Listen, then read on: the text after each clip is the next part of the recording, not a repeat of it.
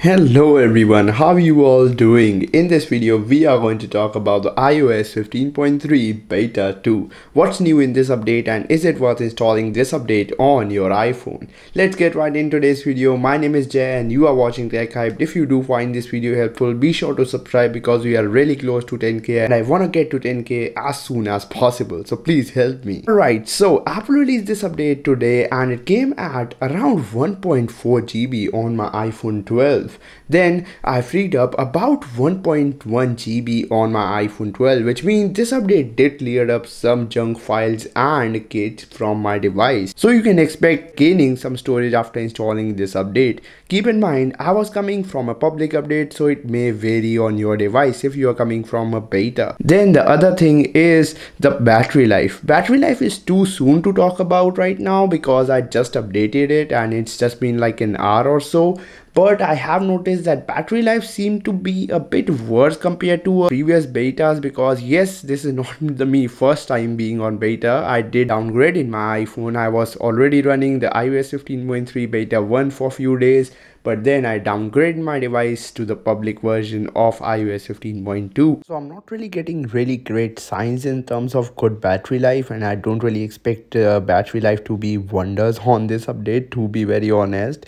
But uh, I think this will be a worse battery experience compared to previous version. Keep in mind my iPhone 12 is at 87% battery health. Yes I know that's a bit too mad right? 87% on an iPhone 12 well yes i did use my device a lot all over the year and it did downgrade it and update it to betas and all stuff so that's why my battery has degraded that much. Don't worry right? Some of my friends said that after updating to this beta the app tracking thing is not working from them and it is grayed out for some. So it is really weird how this beta actually grayed out that uh, app tracking feature for some people. Let me know down in comments below are you guys having this issue or not? And uh, if you have not not yet updated. I would say do not really update if you do not want to sacrifice on that app tracking feature because it's really weird that some people are having this bug where the app tracking thingy is just gone and is just not working from them. Then the wi-fi assist bug is now fixed so some people were including me some people were having uh, the wi-fi assist bug on their devices. What do i mean by this? Even on even i experienced this so i can explain this better so you know.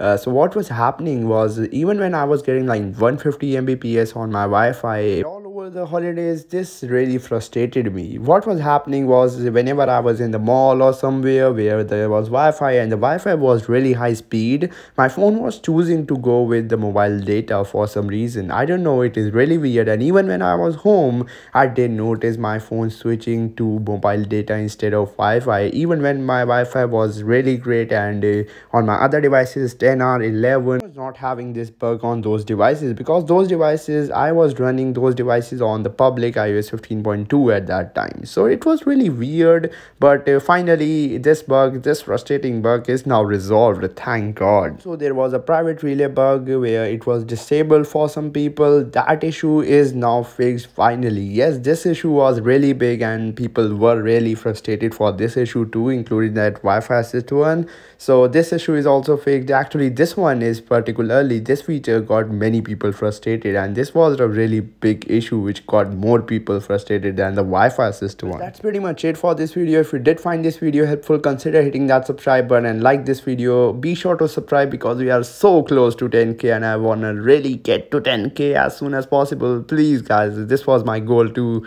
reach 10k last year but uh, unfortunately i was not able to get there so i need your help. Please do it right now. Thank you so much. Peace out